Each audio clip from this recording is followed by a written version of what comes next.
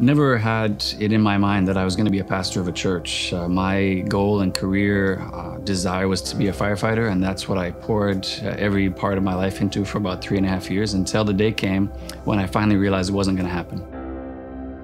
We were wondering, what are we going to do now? We're living in this crazy, expensive city. Where, where do we go? I got a call from my closest friend and pastor at the time, and they said the fellowship and Northwest Baptist Seminary are doing this new initiative called the Immerse program. Once I began the program, uh, I transitioned really into more of a pastoral intern role. And I got a little sidecar desk right beside the senior pastor and just watched him be a pastor every day. He really just invested day by day in my growth. As Wesley started with the program, he really uh, grew within the program, and the church was really blessed by him, blessed by the gift that God had given him for preaching. He was learning together with the church, but he was able to bless the church at the same time. It was literally uh, in my coming into my fourth year of the program.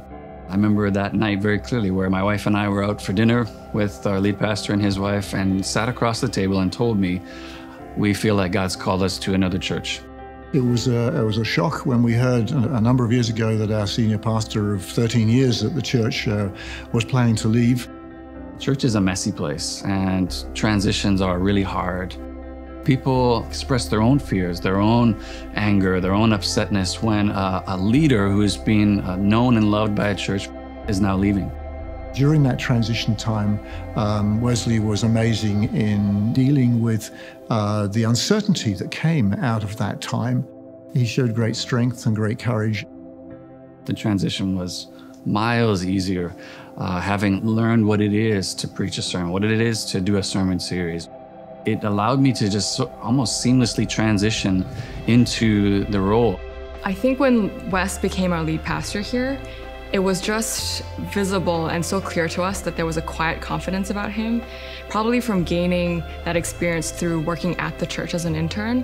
When he preached, he was very relatable. He had already built some relationships with the church, and he just knew how to connect the gospel to real life. I so appreciate Pastor Wesley's preaching because it helps me grow. He's no longer a student, but he's the full time senior pastor for the church. Last summer, I started my work experience here as an Immerse student um, with Wes as one of my mentors. It's an incredible opportunity to now be able to give back uh, to someone else who now is, was at a stage very similar to me. It's been already incredible just to see the way that God is using this relationship to build into her. He's really coming alongside me and, and using his experience to inform my learning.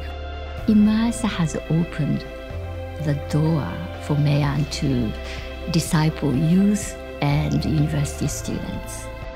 It's been amazing to see God working through the lives of Wesley and May Anne, and we are so really looking forward to how that growth will continue throughout the church's life going forward.